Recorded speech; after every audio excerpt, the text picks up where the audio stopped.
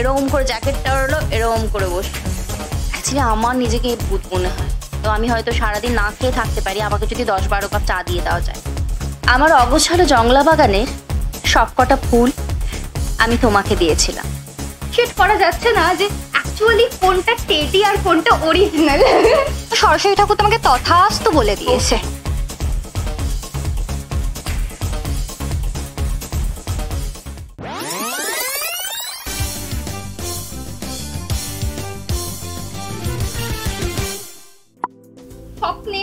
মাঝে মাঝে কি চলে আসে? না আমার ছোটবেলায় আমি ভীষণ আমার একটা বন্ধু হওয়ার স্বপ্ন তখনও বয়ফ্রেন্ড জিনিসটা অতটা আমার ধারণা ছিল না। ছোটবেলা আমি সিক্স সেভেনে পড়তাম তখন থেকে আমার একটা বড় শখ ছিল যে ভূত আমার বন্ধু হবে। পেয়েছ কোনো বন্ধু? না এখনও পর্যন্ত পাইনি। আমার লাস্ট মনে আছে আমি প্রচুর কোথায় খুঁজতে গেছো? হারানো বন্ধু। আমি বলতে বাধ্য হচ্ছি ভাবো তোমরা ভূতকে বন্ধু বানাবে জয়। আমাদের নর্থ বেঙ্গলে যেখানে বাড়ি আছে সেটা একটু গ্রাম সাইড তো ওখানে মানে গ্রামের দিকে একটু সবার মধ্যে একটা ইয়ে থাকে যে তেঁতুল গাছে ভূত থাকে। এটা যারা মানে গ্রামে থাকে তাদের একটা ধারণা তেঁতুল গাছে বাঁশ বাগান এগুলো জায়গায় ভূত থাকে। তো আমিও সেটাই জানতাম যে ভূত থাকে। তো আমার ভূত তো বন্ধু চাই কারণ ভূত সব করতে পারে। তুমি জানো মহারানীকে ভয় পায় ভূতেরা।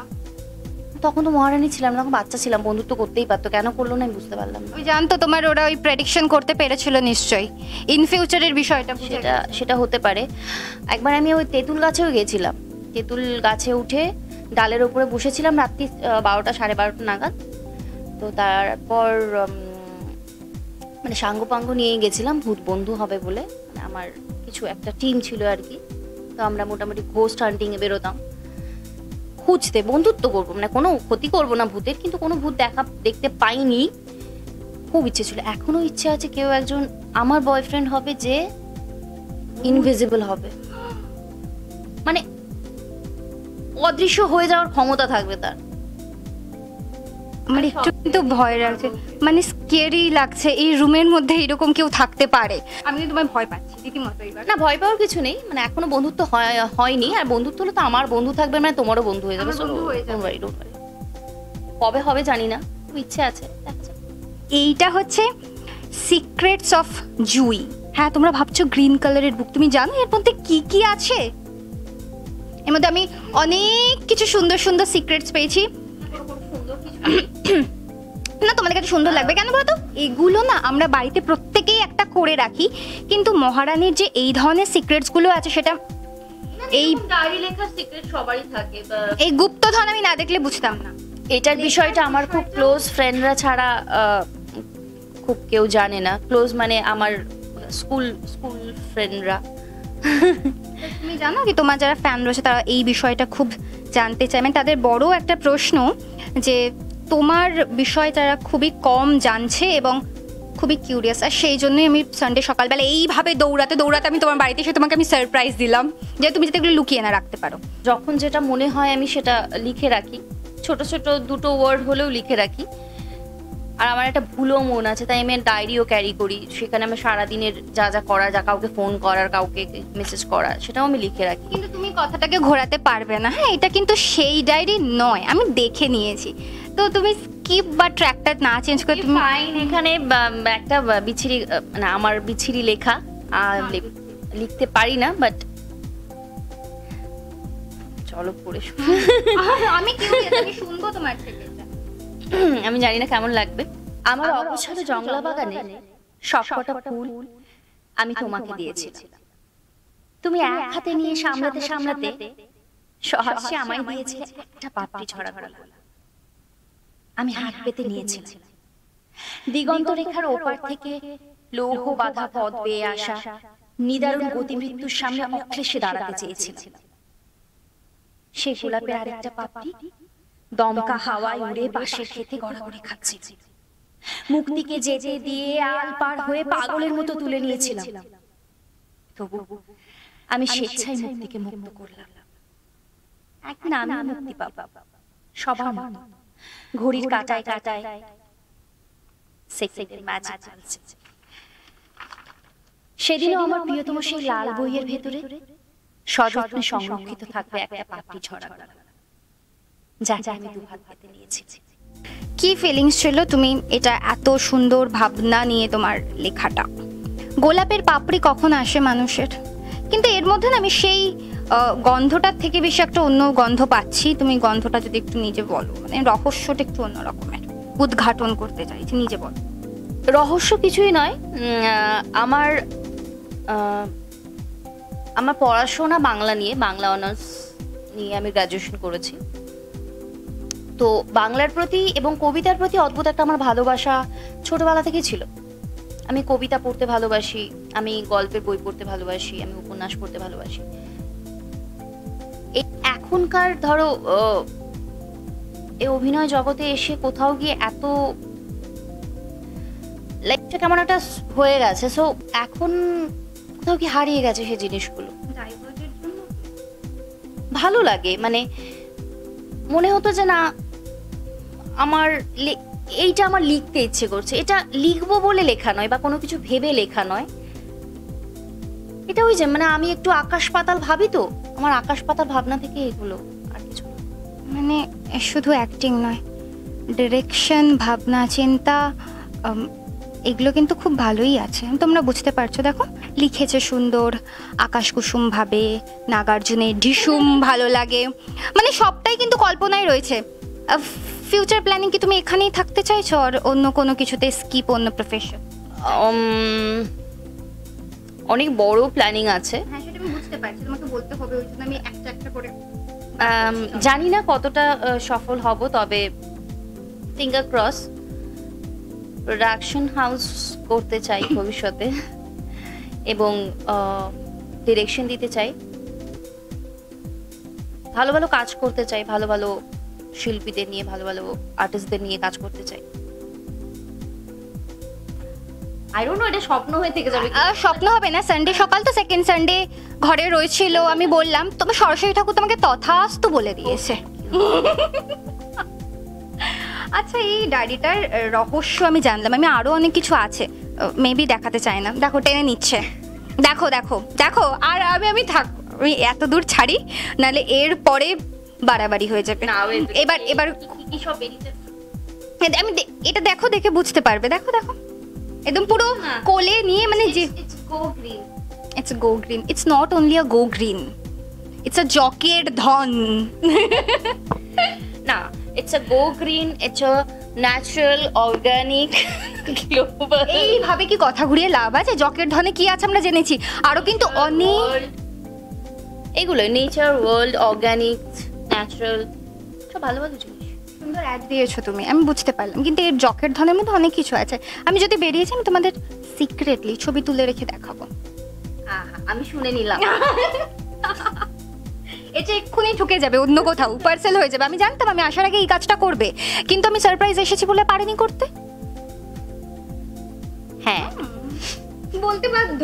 এসে আমি বুঝেছিলাম এটা বালিশ দিয়ে না চাপা দিচ্ছিল ঢুকেই। আমি সেই জন্য ভাবলাম কি ওটাতে ওই দিকটা আগে দেখি তো এগুলো সরাতে সরাতে দেখে নিলাম। Go green. আচ্ছা তোমার ঘরে ঢুকতেই না আমি এখানটা দেখলাম যে কতগুলো সাউন্ড বক্স রাখা। গান শুনতে ভালোবাসো। ভীষণ। আমি যখন গান শুনি মোটামুটি আশেপাশে তিন চারটে বাড়ি এরম এরম করে একটা ভাইব্রেট করে। মানে ডেসিবেল ক্রস করে চলে যাও। তখন বুঝতে পারে সবাই যে আমি বাড়িতে আছি। বাড়িতে আছে। দেখো প্রুফ মহারানীর রাজত্বে তো কত কিছু হচ্ছে। ছেলেকে খুব ভালো মানুষ করছে বেশ সুন্দর করে সামলে আসছে। ঘরে কিন্তু এই করে। আশেপাশে বাড়ির লোক সবাই বুঝতে পেরে যায় যে আজকে জুই বাড়িতে আছে। মানে একদম ডেসিবেল এইটটি ক্রস করে।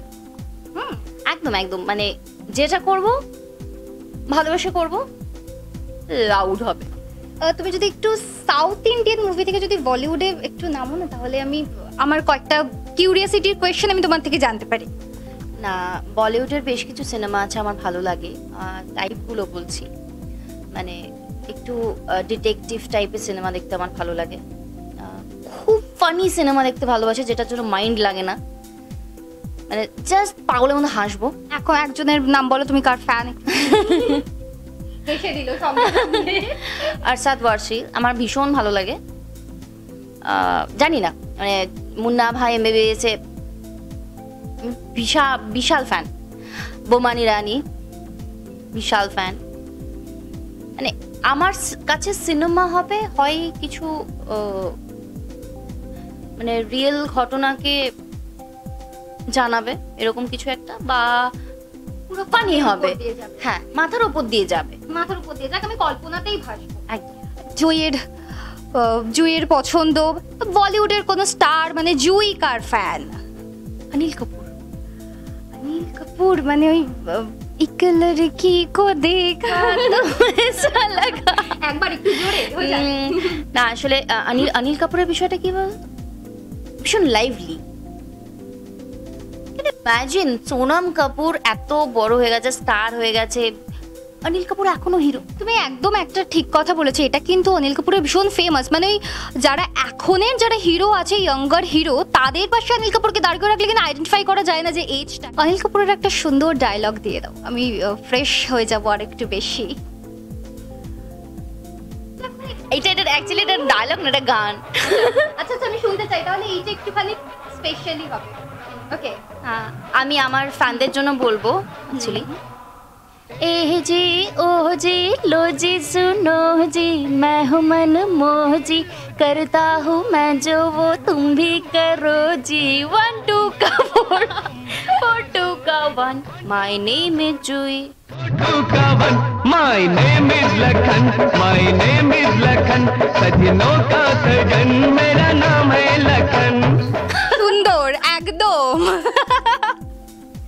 এটা খুব সুন্দর। কেন বলো তো? উচিত নয় কিন্তু যেহেতু অনিল কাপুর আর লাইনটাও খুব সুন্দর মানে আমার সঙ্গে ভীষণ স্যুট করে।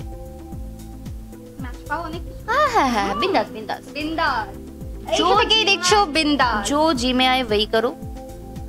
যা ভালো লাগে তাই করো। হাপি থাকো ডক্টরের কাছে যেতে হবে না। কাছে যেতে হবে না। হাসলে হাট ভালো থাকবে। আমি না আড়ালে বারবার একটা জিনিসের দিকে আবার চোখ যাচ্ছে। দু মিনিট হ্যাঁ? আমি বারবার চোখটা যাচ্ছে যেটা আমি একটু এটা কি এটা কি দেখানো খুব দরকার? মানে এটা কি তোমার পার্স তোমার বেডরুমে আছে অফকোর্স তোমারই হবে। আমি তোমার পারমিশন না নিয়ে এটাতে হাত দিয়ে দিলাম এটা তুমি খোলো আমি ওপেন করব না। মানে এটাতেও সিক্রেট জানি পার্সে থাকতে হয় বা হাত দিতে। এমন কোনো সিক্রেট কিছু নেই? আচ্ছা। চার্জার চার্জার ফোনের ডায়েরি বিকজ আমি সব ভুলে যাই কবে কি করব সেগুলো লেখা থাকে আমার। শিডিউলের মধ্যে সমস্ত কিছু লেখা রয়েছে। কবে কবে কি কাজ করছি কবে কি কোথায় কি আছে কি মেমরি লসের কোনো বিষয় আছে? হ্যাঁ হ্যাঁ আমি শর্ট টার্ম মেমোরি লস ও দ্যাটস বিন গজনি। গজনি বোন অ্যাকচুয়ালি আর আমিরের কি ভালো লাগে? পারফিউম ফ্রিক আমি অ্যাডিক্টেড সো পারফিউম একটা থাকেই। হেডফোন এটা আমাদের লাইফে ভীষণ জরুরি। এটা থাকে। সানগ্লাস সব মেয়েদের পছন্দ এবং একটা ফ্যাশন Statement বলা চলে, তো সেটাও থাকে। এটা একটুখানি খুলে একটু দেখাও।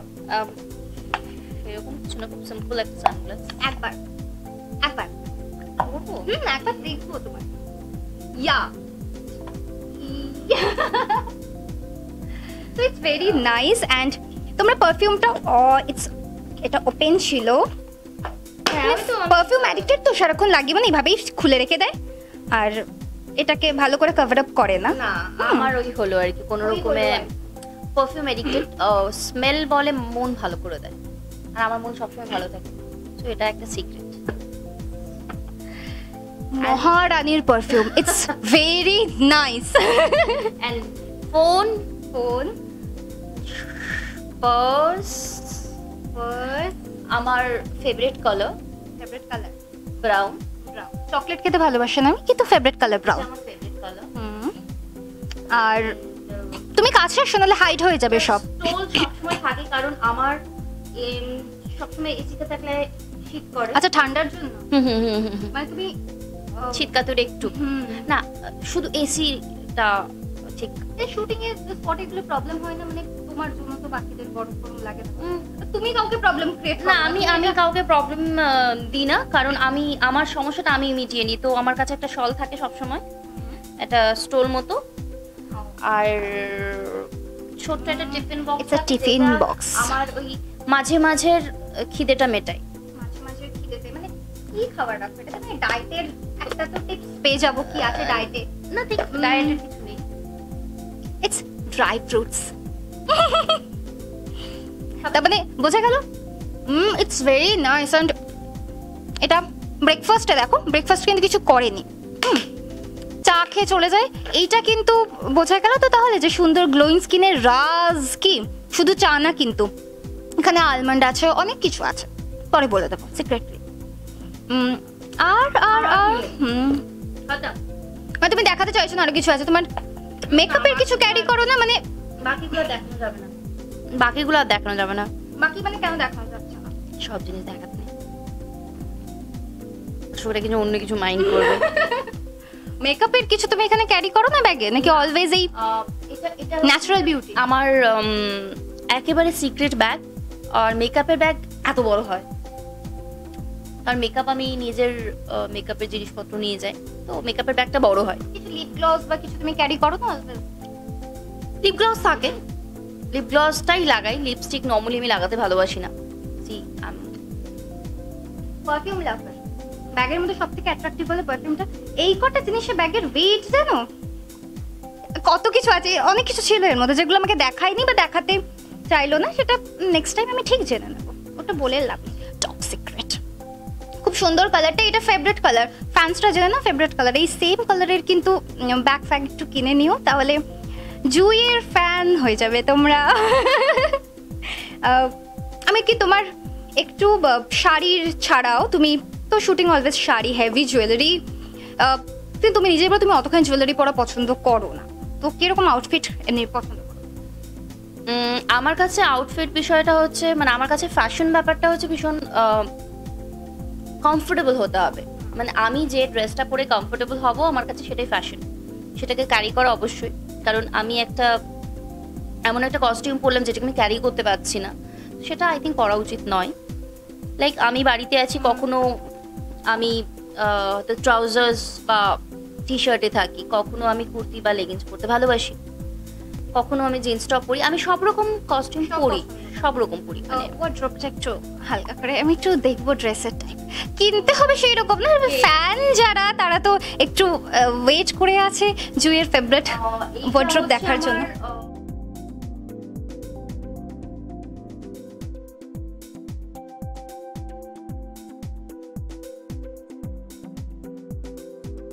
মেয়ে সব কিছুতে পরিপাটি। আশা থেকে আমার সাথে একটু পার্সোনাল যখন গল্প হচ্ছিল, তখন আমি শুনলাম, ঘরে একা থাকলে রান্না বান্না করে খাওয়া হয়। সেটা তোমার জন্য তোমাদের জন্য পরে সারপ্রাইজ রয়েছে। আমি দেখাবো রান্না বান্না কি হয় বা কি করে। কিন্তু এখন তোমাদের যেটা দেখাচ্ছি, যে রুমটায় আমি দাঁড়িয়েছি, সেটা কিন্তু খুব সুন্দর করে সাজিয়ে রেখেছে রানী মা মানে জুই নিজে একাই। অন্য কারোর এখানে খুব একটা বেশি কৃতিত্ব নেই, তবে জুইয়ের মানে জুইকে পছন্দ করে সেরকম কিছু মানুষের কিন্তু কৃতিত্ব এই ঘরটার মধ্যে খুব রয়েছে সেটা জুই তোমাদেরকে বলবে। সুন্দর না আমি ঢুকেই ওইগুলো দেখছিলাম। তোমাকে আমি তখন জিজ্ঞেস করতাম তুমি ঘুমের চোখে বলে না? ভাবলাম হট করে রেগে যাবে বা যদি কিছু বলে দাও। না না জিনিসগুলো- রেগে যাওয়ার বিষয় নয়। এইগুলো হ্যাঁ এইগুলো অ্যাকচুয়ালি বিভিন্ন ইভেন্ট এবং প্রচুর ফ্যানেদের কাছ থেকে গিফট পাওয়া ম্যাক্সিমাম জিনিসগুলোই ভালোবাসা আর কি মানুষের। তো থ্যাঙ্কস টু দেম হ্যাঁ আমার গাছটাও গিফটেড গাছটা একটা ভাইয়ের তরফ থেকে গিফট মানে তুমি নেচার লাভার এইরকম কি কিছু আছে? নেচার লাভারের জন্য তোমাকে এটা স্পেশালি গিফট করা? হ্যাঁ আমি গাছ ভালোবাসি ভীষণ মানে গাছপালা ভালোবাসি গার্ডেনিং করতে ভালোবাসি ঘর গোছাতে ভালোবাসি। আমি জানি না আমি কতটুকু কি গোছাতে পেরেছি বাট স্টিল সুন্দর করে তুমি সাজিয়ে রেখেছো। সময় থাকে না বা যেটুকু সময় পাই চেষ্টা করি একটু গোছানোর। মানে তোমার ইনভেস্টমেন্ট এখনও খুব একটা কিছু করতে রাখেনি মানে ফ্যানেদের গিফটে তোমার ঘর একদম ভর্তি। এই দিকটা আচ্ছা ও আমার বোন বোন পায়েল পায়েল সরকার ও মডেলিং করছে এবং জাস্ট গ্র্যাজুয়েশন কমপ্লিট করল আর ছোট্ট আদরের বোন। বোনকে ঘরে ঢুকতে দেওয়া হয়? হ্যাঁ হ্যাঁ ও ও অ্যাডমিশন পায়।